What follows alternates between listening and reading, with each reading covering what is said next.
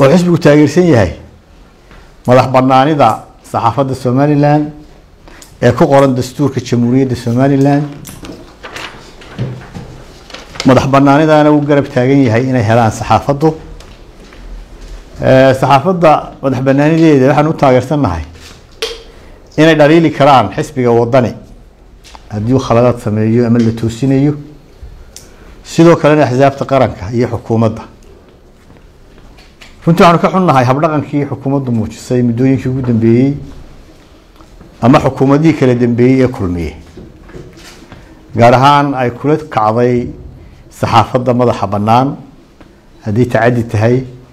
hadday xadhig tahay. Intii hore waabay soo dhaafto maanta qaran dumis bay ku eedeysay saxaafaddii.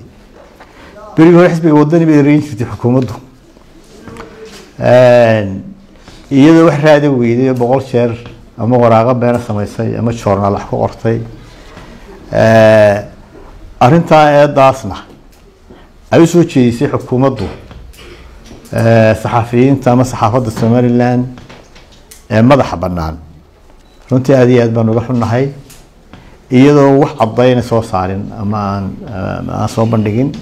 dhinaca kalena guddoomiyaha wadaniga somalilan mudane cabdiraxmaan ciro ayaa sheegay in warbaahinta madaxa bannaan ay keentay magaca ay somalilan ku leedahay beesha caalamka iyo waxay kaga duwan tahay dalka soomaaliya labadaba.